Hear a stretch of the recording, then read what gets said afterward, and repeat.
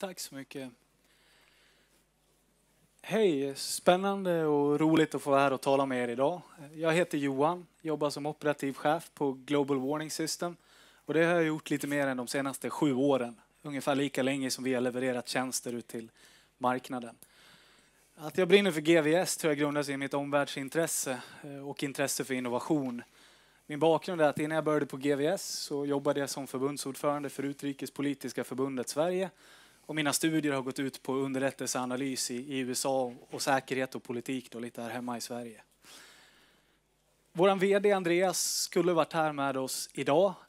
Men det är så att han är på sjukhus där hans fru nu, just nu föder deras andra barn. Då. Så att idag får ni nöja er med mig och jag hoppas det ska fungera ändå. Jag brinner och jag tycker det är otroligt spännande att jobba på GVS. Ehm, och i min mening så går vi en väldigt ljus framtid till mötes. Jag hoppas jag kommer kunna förmedla det till er här idag. Det vi gör är att med nytänkande och världsledande teknologi ge människor och organisationer så mycket trygghet och säkerhet som möjligt när man reser eller när man är mobil i sitt arbete och i rörelse. Och på det sättet vi gör det går mycket ut på att få in så mycket nyttig funktionalitet och säkerhet som möjligt i de här moderna smartphones.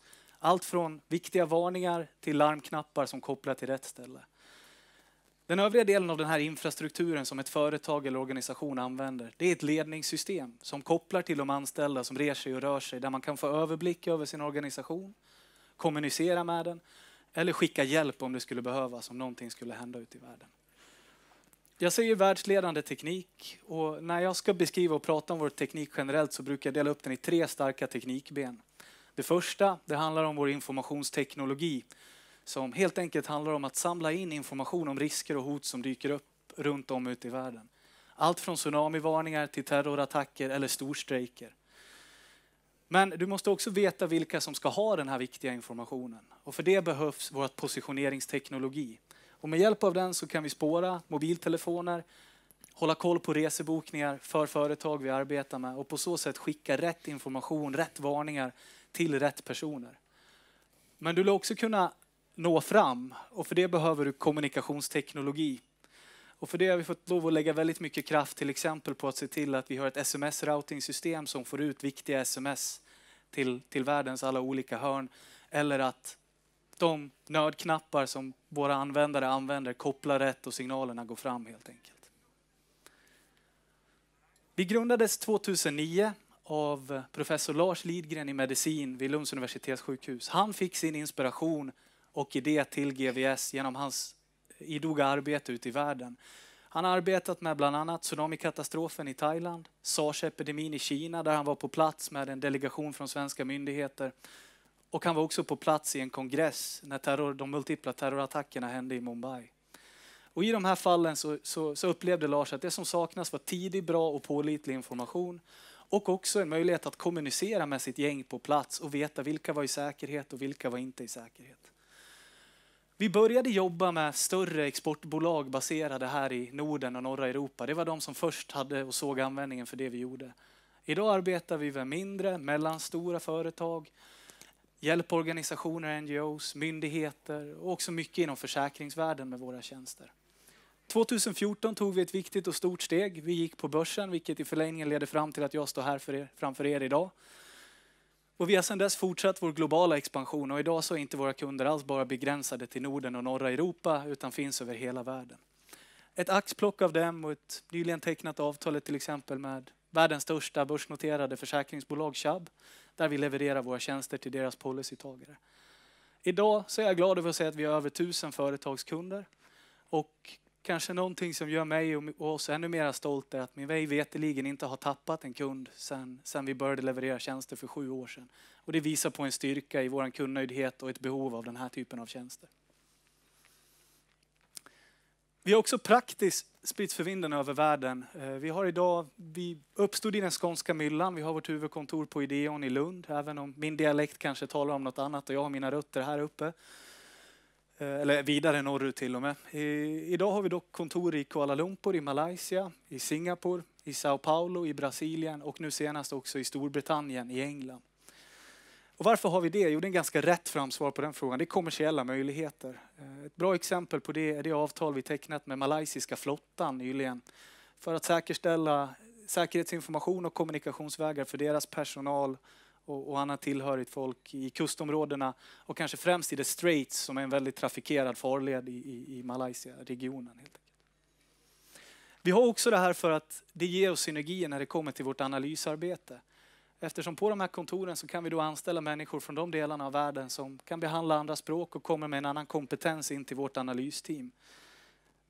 Utöver detta så hjälper det oss att täcka dygnets alla 24 timmar också på ett bättre sätt än folk här hemma ska behöva jobba natt väldigt mycket. Den humanitära och etiska aspekten i det vi gör är för mig ganska självklar och kanske min största drivkraft. Jag tänker nu berätta lite mer om andra drivkrafter, inte minst kommersiella, i vår affärsmodell och det vi gör. En klyscha, världen krymper säger vi. Och i det begreppet så ryms egentligen två stycken drivkrafter för oss. Ett, vi reser mer, både i affärer och privat. Och två, världen blir mer lättillgänglig för oss igen via manicker som, som smartphonen till exempel. Och just att den tekniken har utvecklats på telefonsidan är ju det som har gjort det möjligt för oss att ta fram det här innovativa och nya sättet att hantera personsäkerhet för organisationer.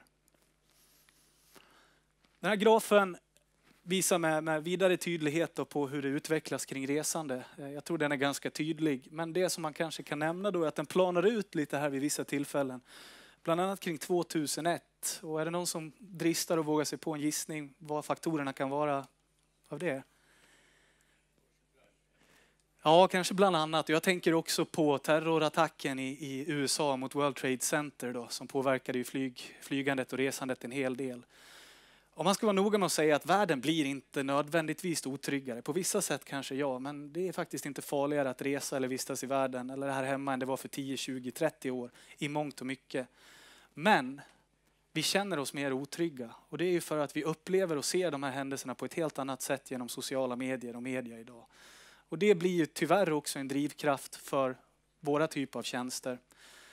Även om det känns tråkigt att säga och vår affärsmodell inte går ut på att slå mynt av rädsla och hot utan snarare att det är en tjänst som ska göra människor mer självsäkra och trygga när man reser.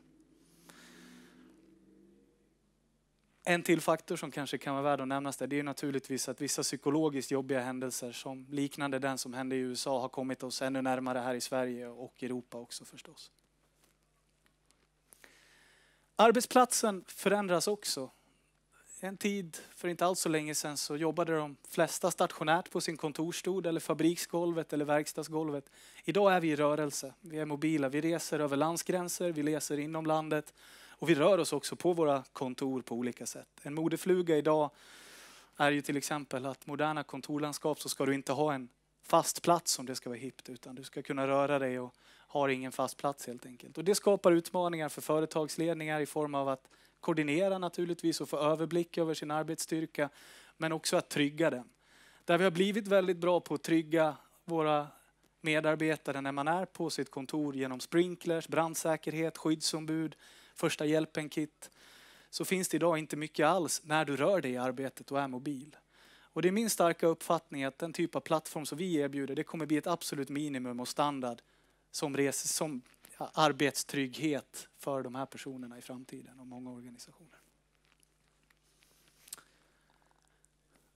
Det stora problemet är inte att det inte finns information kring allvarliga händelser och hot som uppstår runt om i världen. Det finns massvis. Problemet är att filtrera och sortera i den. Och det gör vi med hjälp av vårt informationssystem som bygger på artificiell intelligens. Det hjälper oss att sortera de här källorna som är påkopplade systemet och visa våra analytiker vad som är relevant och händer just nu. Annan utmaning idag, förutom det stora flödet av information, det är ju det som kallas för falsk information eller populärt fake news till exempel. Och att skilja på sant eller falskt det är otroligt viktigt ur en säkerhetssynpunkt och det ser vi också som en särskild uppgift för oss. Till skillnad mot kanske media där det mer idag har blivit viktigt att få klick eller sälja upplagor med stora rubriker så är det av yttersta vikt för oss att informationen är rätt, korrekt och professionell. Exempel på den problematiken såg vi här nära till hands i samband med Drottninggatan och attacken där, då det rapporterades om skjutningar på Fridhemsplan och annat i media. Det var ju ingenting som vi gick ut med med våra tidiga varningar till både besökare och medborgare här i Sverige och visar kanske också på vissa fördelar då med att ha det uppdraget vi har. I alla kriser, de jag har pratat om som varit med om kriser i sina företag allmänt, oavsett om det handlar om eh, förskingring eller att man har medarbetare som befinner sig mitt där någonting väldigt allvarligt händer eller en naturkatastrof sker, så är, vikt, så är bra och snabb information av yttersta vikt. Och det är det man får med hjälp av den här plattformen och verktygen att hantera den här krisen. Företag och organisationer lägger väldigt mycket idag på att skydda fastigheter, IT-infrastruktur och också på personer. Men Ehm, jämförelsevis så skyddar vi och lägger betydligt mindre pengar på våra medarbetare än till exempel fastigheter. Det här håller på att förändras. Tendensen är tydligare där man inser mer det som är logiskt för mig och jag tror för många av er att medarbetaren är den viktigaste resursen i de flesta organisationer och svårast att ersätta i många fall. Plattformen är så mycket mer än trygg och snabb information till dig och de som har hand om din säkerhet. Det är en fullständig infrastruktur som är flexibel och enkel att koppla samman med andra rutiner och processer som du har på ditt företag. Det kan handla om HR-databasen, att lägga in resepolicyn i de här portalerna och verktygen. Att du hittar till kontor runt om i världen, den informationen finns lätt tillgänglig för dig. Så att det blir liksom en spindel i nätet för hela personsäkerhetsarbetet inom ett företag.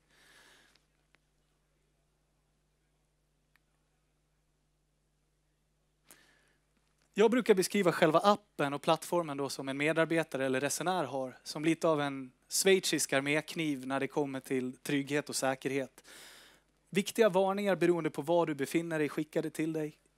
An, eh, tillgång till larmknappar som kopplas specifikt på var du är eller på grund av det företaget du jobbar till så att du kan få hjälp. Dina resebokningar automatiskt. Mer mjuk information som valutakonverterare eller vädret för där du just nu befinner dig. Men grunden för den här användartjänsten är att den ska vara väldigt enkelt att använda. Du kopplar igång den och sen sköter sig det mesta själv. I andra ändret av spektret så har vi en ledningsgrupp som har det här ansvaret för att ta hand om sina medarbetare. Och i deras verktygslåda finns lite mer. Du får en överblick och statistik över ditt resande och kan se vem som är var just nu om du skulle behöva. Skicka hjälp till rätt ställe skicka förfrågningar och kolla att de mår bra om de har befunnit sig i närheten av en allvarlig händelse. Eller på andra sätt kommunicera med, med sin organisation. Våra analytiker har egentligen två grundprinciper. Ett är kvalitet. Den informationen som vi analyserar, tar fram och skickar ut, den ska vara trovärdig, pålitlig. Den ska vara lätt att förstå, enkel att ta till sig. Och råden som vi alltid ger, ska vara professionella. Den andra principen är snabbhet. Tid är pengar säger man. Snabbhet kan vara skillnad på liv och död i det här fallet. Eftersom tekniken gör det så lätt för att få information från punkt A till punkt B så måste våra analytiker också vara redo för uppgiften att jobba snabbt och få ut den här informationen fort till de som behöver det mest. Om vi tittar på hur det kan fungera i en av kärnuppgifterna som plattformen har så kan vi ta ett konkret exempel. Jordbävningen och tsunamin i Japan och Tohoku. Stor kraftig jordbävning sker ute till havs. Våra system plockar upp information om den här jordbävningen och analytikerna skickar ut det både till personer som finns på plats i Japan 46 minuter innan vågen slår in får de sms i telefonen. Och deras ansvariga, kanske hemma i Sverige på, på ledningskontoret, om att ni har de här på plats i Japan och det här håller på att hända. Sen kan man då ta det här beslutsunderlaget, personen på plats kan sätta sig i säkerhet, de där hemma kan sätta bollen i rullning för att skicka hjälp, beställa biljett hem, kontakta personer på plats för att så vi säkra individen, spara tid och resurser. En klient som vi inte hade börjat jobba med det än, en stor en inom fordonsindustrin, för dem tog det två veckor att reda ut vilka de hade haft i Japan och inte när det här inträffade. Och betydligt mer resurser än att med hjälp av det här systemet ögonblickligen se att de här har vi där just nu och de är trygga eller inte. Vi har pratat om, jag hoppas jag har kunnat förmedla vilket värde det finns för resenärer och företag säkerhetsmässigt i tjänsten. Det finns också en duty of care-lagstiftning att uppfylla där företag får mer och mer ansvar även för sina medarbetare när de reser och inte befinner sig på hemkontoret. Att man ska sörja för deras trygghet. Och det driver våran idé också. För försäkringsbolag som är en viktig partnersektor för oss så har du naturligtvis de argumenten för tryggheten och säkerheten. Men du har också deras möjlighet att få en närmare relation med deras policytagare och företagsklient. Där de har flera positiva interaktioner genom plattformen och appen än bara den där det här företaget tecknar sin försäkring och sen är det bra med den. De kan via plattformen lägga till egna erbjudanden, kanske sälja upp sina försäkringar. De kan lära känna sin kund bättre via datan och det resemönster som, som visas och så vidare. Så försäkringar är en jätteintressant partnergrupp för oss. Nu ska vi se, nu slutade min knapp fungera här. Kan det vara batteriproblem kanske? Där. Partners har vi som jag nämnt inom försäkring i form av Chubb eller till exempel europeiska ERV-försäkringar, Dr. Walter i Tyskland. Men vi har också partners inom andra sektorer. Ganska naturligt säkerhetsbranschen där vi idag jobbar med de mest välrenommerade, välkända och enligt mig bästa säkerhetsföretagen här i Norden och Sverige på området som paketerar ihop vår tjänst med andra säkerhetstjänster de erbjuder och säljer till sina kunder. Vi har också partners inom resebranschen som Resia och andra. Om vi då ska dyka lite djupare in i specifika business case så är SHAB ett bra exempel inom försäkringsbranschen. Där jobbar vi med SHAB och ger lösningen till deras policytagare. Vi får en minimum antal licenser som de garanterar, vilket garanterar oss en minimuminkomst på 5,3 miljoner över tre år. Och utifrån det här så får vi sen andra synergier där vi redan nu pratar andra möjligheter och, och kommersiella idéer tillsammans med SHAB. Det de gör är att de brandar vår lösning i sin egen logga och, och ökar också då sin brand awareness mot sina, sina klienter. På samma sätt så har vi partners inom säkerhetsbranschen där vi bland annat jobbar med EOS Risk Group som är ett välkänt säkerhetsföretag baserat i Storbritannien. De jobbar också mycket i Asien. Och I det här fallet så får vi en grundlicensintäkt från dem för partnerskapet och plattformen på 240 000 kronor per år. För varje kund de sen säljer det här till så får vi ytterligare 15 000 i grund och sen beroende på hur många medarbetare den här kunden kopplar på 500 per år och medarbetare. Om vi tar ett exempel på en direktkund då, eller ett bolag som, som hur det ser ut i slutändan. Så för ett par år sedan började vi jobba med den här stora franchisegivaren. Och de började med en liten pilot, rullade sen ut på 750 av deras anställda och nu i början på 2018 så valde de att utöka till 5000 anställda vilket ger oss en eh, årsinkomst på 1,3 miljoner kronor från den här klienten. Och det är det här som vi vill bygga vår framtida plan på. Vi har en jättegedigen kundstock på över tusen företag som är nöjda och jobbar med oss i mindre utsträckning. Men vi vill göra den här resan med dem och planerar för det så att det blir en, en större affär för oss helt enkelt och att de får mer synergier och nyttja hela plattformen. Det är en digital tjänst vi gör. Allt ryms inom vår plattform och det gör den väldigt skalbar. Vi har ett par fasta kostnader som omvärldsbevakningen till exempel och det tekniska underhållet. De löpande som följer med, det handlar egentligen om att öka serverutrymmet, serverutrymmet ursäkta mig, eftersom vi får flera användare och eftersom vi skickar mer sms täcka de kostnaderna. Men i princip får vi mer bättre marginaler för varje ny kund vi tecknar. Vi ser oss idag som experter på att digitalisera personsäkerhet och den här resesäkerhetsplattformen. Och jag är glad att säga att nu i sommar så släpper vi vad vi tycker är den definitiva resesäkerhetsplattformen i form av SafeTure Pro 2.0. Men vi är ju ett innovationsföretag i grunden och vi blickar redan framåt. Det som har hänt är att kunder använder vår plattform idag, inte bara för resenärer, inte bara för de som är mobila i arbetet, utan man använder det mer som en generell person och trygghetsplattform där butiksanställda har våra appar som, som larmfunktionalitet, eller du ger det till nyckelpersoner inom ditt bolag som kanske har en särskild hotbild emot sig inom ledning och så vidare. Så där vill vi bygga vidare på och ännu mer integrera plattformen med försäkringar, med HR-databas.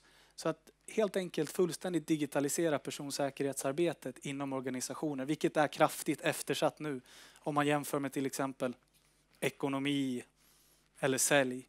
Det vi vill bli framöver, det är lite av vad Salesforce är för ekonomiavdelningen och din säljavdelning. Det vill vi bli för säkerhet, trygghet och, och, och, och den avdelningen på organisationer runt om i världen.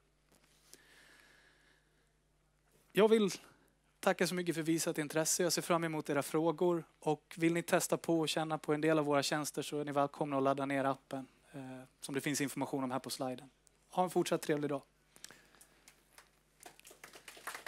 Tack så mycket. Tack så mycket Johan. Eh, dags för eh, frågestunden och eh, tack för en intressant presentation. Och, ehm, jag tänkte börja lite med att ställa frågan här. Hur unika är ni egentligen och hur, ser egentligen, hur, hur skulle ni vilja beskriva konkurrensbilden? Ja, jag tycker vi är ganska unika, eller mig vetligen väldigt unika, när det kommer till vår digitala inställning till detta. Om man kollar på vissa av områdena, vi tar information till exempel, så finns det en handfull i världen som kanske jobbar med att göra global omvärldsbevakning på ett seriöst sätt. De förlitar sig ofta mycket på manuell kraft snarare än att ha ett smart system i grunden som vi har, vilket gör att vi kan effektivisera de kostnaderna. Men de här företagen, de bygger inte tekniska plattformar för kommunikation och positionering och så vidare. Alltså få in hela den här biten som man vinner så mycket på att ha på ett och samma ställe. Och det är väl ett bra exempel på att vi kopplar samman de här olika tekniska delarna, vilket gör oss unika i sammanhanget. Vad ser du egentligen som ert främsta tillväxthinder just nu? Vårt främsta tillväxthinder är kanske ett brist på, på fokus. Vi har genom åren och fortfarande så mycket intresse från olika håll att det ibland är svårt för oss att veta vilken möjlighet vi ska springa på. Vi måste vara smarta och ta de möjligheterna som genererar bäst inkomst och bäst tillväxt just nu eh, och samtidigt tänka långsiktigt så att vi inte gör fel prioriteringar helt enkelt. Okej, okay, vi kan väl kolla här också om det finns publikfrågor. Inget, ja. Jo, varsågod. Frågan är alltså om eh, vilka de kunder ni har, om det huvudsakligen är svenska eller nordiska eh, företag eller kunder. I början var det mestadels så. Idag så är det verkligen en salig blandning, både baserad i Nordamerika, nere i Centraleuropa och Asien. Men de tre områden jag nämner, det är väl där vi har allra flest kunder. Än så länge så har vi inte särskilt mycket kunder i varken Afrika eller Sydamerika. Och det har kanske att göra på att man mindre, större internationella företag har sin bas där och så vidare. Men det är en bra spridning idag på kunder runt om i världen. Bra fråga. Ja, följdfråga Följ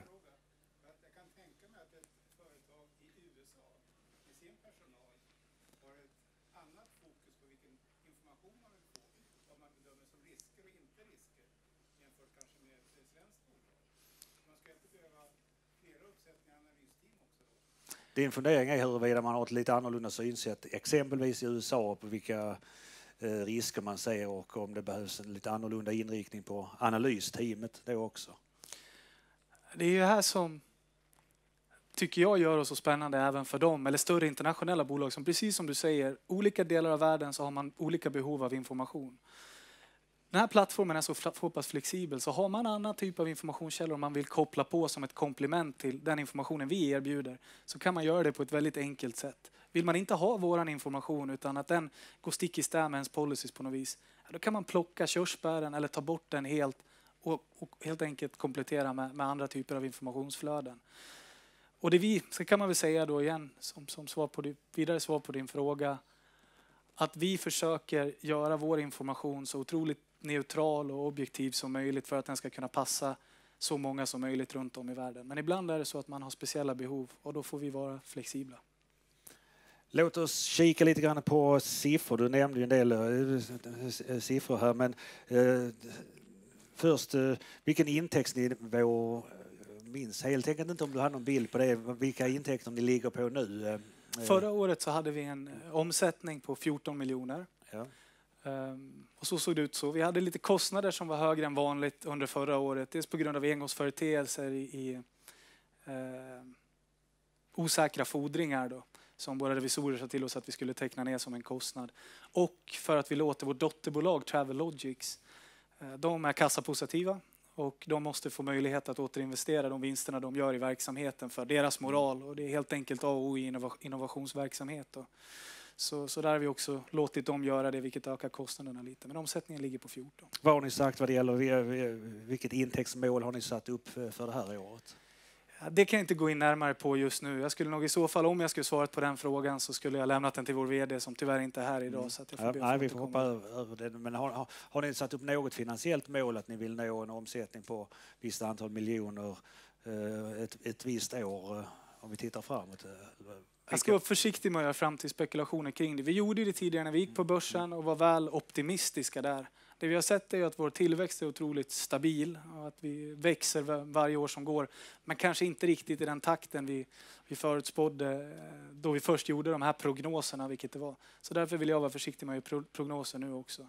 Det viktiga är att eh, vi tar vara på de möjligheterna som finns och fortsätter vår utveckling med tjänsten. Hur, hur ser det ut när ni approcherar nya kunder? Nu kan ni hålla er till den eh, eh, intäktsmodell ni har eller känner ni att ni behöver korrigera där för att kunderna ställer krav på att nej, men vi vill ha en annan betalningsmodell eller förs det sådana resonemang? Så att ni, det finns lite olika varianter vi försöker göra som vi har. Alltså både den här 2.0 och 3.0 versionen som vi tittar på framöver. Det bygger ju på feedback vi har fått av befintliga partners och kunder. Och det är själva plattformarna. Det gäller ju också för de betalningsmodeller vi erbjuder. Det kan handla om att köpa månadslicenser. Du betalar precis på hur många användare du har, vilket gör det enkelt för både små, stora och och mellanstora bolag att teckna sig. Det kan också vara så att du betalar per resa, vilket vi också ger möjlighet till. Vilket är en affärsmodell som föredras av resebranschen framför allt och de kan koppla det samman med, med andra typer av resetjänster. eh, när det gäller balansräkningen, hur ser det ut med kapitalbehovet framöver? Det ser bra ut just nu. Vi har ett kapital, en kassa på i början av året cirka 14 miljoner och eh, nu är nuläget cirka 9 vilket kommer ta oss en bra bit in i 2019. Så i nuläget är det inte ett problem. Mm. Ska vi se, har vi någon publikfråga?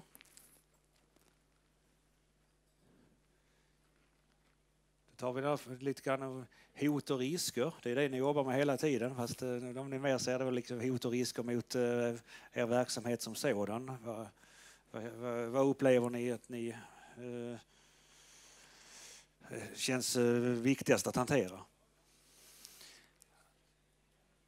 Jag tror igen det faller tillbaka på att ta rätt beslut. Eh, det kan också vara en utmaning och problem att ha för många, för stort intresse kring tjänsten. Och det har ställt till det för oss förut och det kan ställa till oss framöver. Så att satsa på rätt saker och rätt sektorer först. Sen kan vi vid ett senare skede kanske fullfölja och söka andra möjligheter. Men att göra rätt prioriteringar här och nu. Okej, ska vi se om det dykt upp någon fråga från publiken nu innan vi avrundar. Tänkte jag avsluta med eh, lite vision. Var vill ni vara om fem år? Om fem år så vill vi vara den definitiva lösningen för att digitalisera personsäkerhetsarbete. Och vi vill att den här typen av tjänster, både från en etiskt perspektiv och för oss naturligtvis också kommersiellt, ska vara en standardlösning för alla företag som rör sig och reser i sin verksamhet. Okej. Eh, vi, vi kan kolla, vi har nå- några sekunder kvar. Det har inte dykt upp någon sådär avslutande snabb fråga. Då tackar vi Johan Tinnerholm för en bra presentation. Intressant. Tack så mycket. Tack ska du och ni ha.